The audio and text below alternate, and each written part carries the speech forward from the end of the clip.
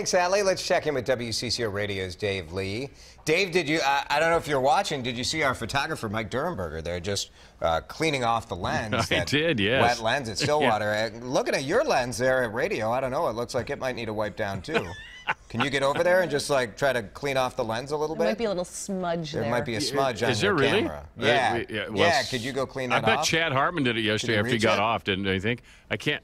Yeah, it's too It's far way- away. It's way over there. You could walk over there and do it. You want me to try to do that? Just, you know, lick your thumb and wipe it Is on. that how you clean these things? Yep. Well, I gotta, what do I Pretty got to clean tech. it with? I'll you use my jacket. Have, you have the equivalent of a store security camera in your studio. That's what we're using. Yeah. go ahead and fix it. Hang there's, on. You got- there's Dave. He's gonna here we go. walk right up.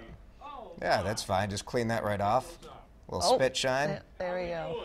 You know, we don't have time on this show to do kind of maintenance before. You got to multitask a little so bit. yeah, you do it. You do it when you can. That looks much better, Dave. Yeah.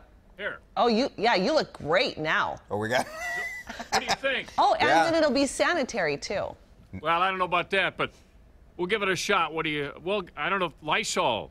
Ninety-nine point nine percent going to kill the disinfectant stuff. I tell you whatever. what, knowing the people who work in that studio, you need Lysol for sure. Mm-hmm. For Well, sure. you, yeah, you heard some of the shows. Yeah, exactly. All right, Dave, this has been a good segment. I enjoyed it That's great. I can't hear it because I have no headphones, but I'm guessing it was really terrific. It was, and we got something done too. We got some cleaning. We in. did? Yep. That'd be a first. Thanks, Dave. All right, see you guys. If you're off to work, you can hear Dave Lee on CCOAM 830 until 9. We'll be right back.